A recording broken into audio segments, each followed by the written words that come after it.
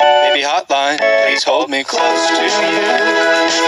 Baby flatline, still time to do it too. Baby snack time, chow down to her. Head, she's a quarter quarters. No boundary boredom, no boundary boredom.